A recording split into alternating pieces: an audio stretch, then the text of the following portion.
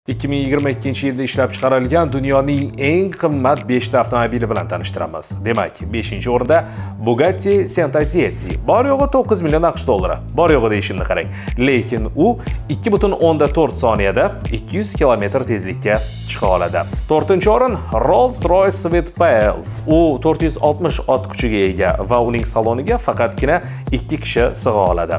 Balki buning qimmatligi uning ichki tuzilmalaridadir. Har holda bilamiz, Rolls-Royce dunyoning eng qimmat avtomobillarini ishlab chiqarishda oldingi o'rinda turadi. Paganini Zonda HP Barchetta bu 17 million AQSh dollari turadi. 1999 yildan beri avtomobil ishlab chiqarishiga qaramasdan, u juda ham kam sonli avtomobillarni buyurtmachilarga yetkazib beradi va aynan buyurtma asosida avtomobillarni ishlab chiqaradi. Bugatti La Vecher Nor avtomobili 18.7 million AQSh dollari turadi. Uning eng yuqori tezligi 410 km soatni tashkil qiladi.